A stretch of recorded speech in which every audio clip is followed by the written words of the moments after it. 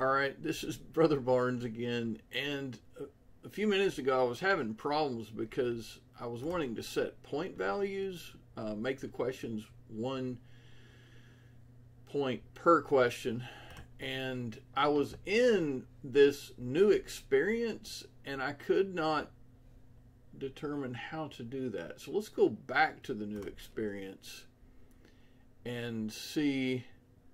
Yes, it shows the points as compared to the old experience, which doesn't show the points in this view. So let's go back. That's kind of nice. And that did notify me that I, I wanted to make a change. But let's click here. Okay, let's go to preview. And okay, there we go. Edit questions. There we go. And that's where we would edit the point values and then click continue. So if you are in the, let's just get out of here. If you're in the new experience, then that's how one would.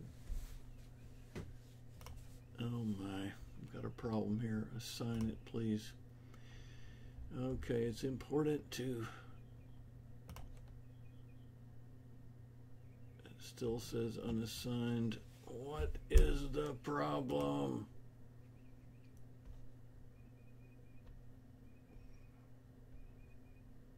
Assign.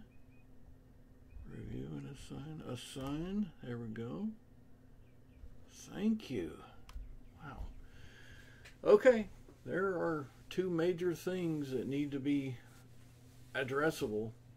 Changing point values in the new experience and also assigning the assignment